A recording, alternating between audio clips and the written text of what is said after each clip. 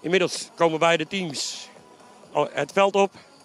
Sportlust 46 tegen onze tegenstander van hedenmiddag, Barendrecht. De wedstrijdsponsor hedenmiddag is de Rotterdamse Oude en de balsponsor 412 Intermanagement. Zie dus de bal voor. Maar dat is een makkelijke prooi voor doelman Verkerk en Jansen. Jansen gaat er vandoor. Gaat richting de 16 meter. En dan is het Thomas Heideman. En dan is de goede redding van doelman Verkerk. En nog een goede redding van doelman Verkerk. De tweede inzet was van Ernst Sieders. Tweemaal. En dan is het een, diepe bal op Mark van der Weijden. Die zit daar goed tussen. En dan, ja, dan, gaat, hij dan gaat hij er wel op.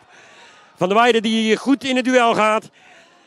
Daar dan ook nog een keer gestuurd wordt. Uh, niet alleen maar door Swank, maar ook door Doelman Verkerk. En dan is het Van der Weijden. En die schiet hem hard in de linker benedenhoek. En staat Sportlust met 1-0 voor. De minuut scoort vanaf de 11 meter stip met terug nummer 9. Arends. In de 16, levensgevaarlijk. En dan is het Thomas Heideman met een schotje. Eekman, Eekman met een schot. Schot komt er niet, ja, maar half-half. Maar het komt er, uh, dat half-half komt door Martijn Jansen. Jongman, ja, en die bal die dwarrelt er zomaar even in. In de 27e minuut komt Barendrecht op een gelijke stand. En dan is het uh, een gevaarlijke aanval. En dan is het, uh, denk ik, buitenspel. Maar uh, er wordt doorgevoetbald. En dan is het... Mourane Bakour met rug nummer 26. De 1-2 gescoord.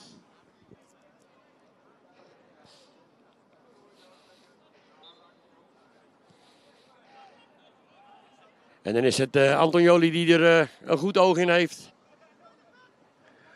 En dan wordt Van der Weijden weggestuurd en die gaat hem precies nog aanraken. En dan gaat hij net naast de goal. Zoekt even de vrije ruimte op en dan is het Meijering die weggestuurd wordt. Kan hij bij de bal komen? Ja, dat kan hij. Meijering. En dan is het een makkelijke prooi voor doelman Verkerk. Arends die daar het uh, duel verliest. Dan is het uh, Van Warven die de bal bij Van, van de Weide weet te brengen. Maar dan is het een redding van doelman van Kerk. De bal komt voor en wordt ingekopt, maar niet ver genoeg. Hij probeert daar uh, Meijering weg te sturen, Quincy Arends. En dan komt hij voor de goal. En dan is het een grote kans voor Mark van der Weijden. Maar hij schiet hem naast. het spel mag doorgaan. Thomas Heideman. Thomas Heideman naar Sieders. Sieders. En dan Quincy Arends. Oh, en die raakt die bal helemaal verkeerd. Dat is jammer. Dan is het uh, Doelman van Kerk die dat rolletje gewoon op kan pakken. Snel de bal uh, uitschiet naar uh, Bakour. En dan moet Jansen nog hard werken. Verliest daar het duel. Bakour wordt even aan de kant gezet. Krijgt voordeel van scheidsrechter Kuintjes. En dan is het uh, Eekman die de bal uh, meekrijgt. Dan is het uh, de Lange die een verschrikkelijke kans krijgt. Maar de bal in één keer uit de lucht over het doel van Antonioli schiet. Niets is minder waar. Arends wint daar het duel. Brengt de bal bij Sieders. Sieders. Oh, en die schiet hem bijna in de goal. Zet daar de man. Zet de bal voor. En dan is het Van der Weijden. Die via het achterhoofd van Zwank de bal over de achterlijn heen kopt. En nu is het Verkerk die de bal boven het hoofd van Van Hussen wegplukt. En dan wordt Bakour weggestuurd. Bakour overgestoken aan de andere kant van het veld. Waagt het schot, maar dat is uh, te eenvoudig voor Antonioli. Jansen naar Heideman. Jansen weer. Heideman. Bal moet voorkomen. En die gaat er. Ja hoor, het is een doelpunt. Fantastische goal van Thomas Heideman. Ja, ik geef hem aan Thomas Heideman. Maar was het uh, doelman van Kerk die uh, de bal zelf in die goal frommelde.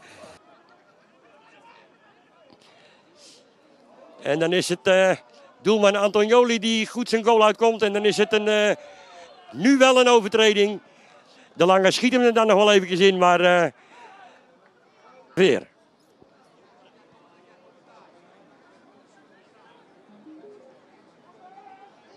En dan is Van der Weijden. Van der Weijden. Oh, die speelt hem veel voor hem uit. En dan is het Quincy Arends nog. Ja hoor, ja, goal.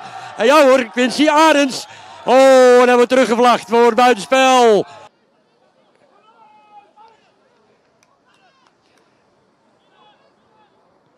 De Pre met de voorzet, maar die is voor Antonioli. Sportlust eh, krijgt er nog een vrije trap. Bal moet richting de 16. Naar Wils. Naar Wils. Maar daar wordt eh Arends geblokkeerd. Door Cornet. Anders had hij misschien nog bij de bal gekomen, maar nu is het Verkerk.